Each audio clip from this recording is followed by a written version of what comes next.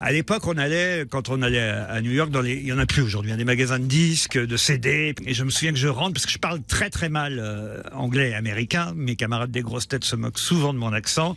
Et j'étais rentré dans un magasin pour acheter donc le disque de Sting. Et évidemment, je demande euh, où, parce que je cherche et je ne trouve pas de disque de Sting. Where can I uh, find Sting? Ah oui. Quand même. Ah oui, quand même. Et évidemment, le vendeur euh, ne trouve pas de, de Sting, il cherche, euh, il essaie de comprendre ce que je lui dis. Sting, no, no. No Sting. Bon. Et, et je continue à chercher tout seul. Puis enfin, je trouve un CD de Sting. Et évidemment, comme je suis un peu têtu, je retourne vers le, le vendeur et je fais Sting, you have Sting. Il me fait Ah, Sting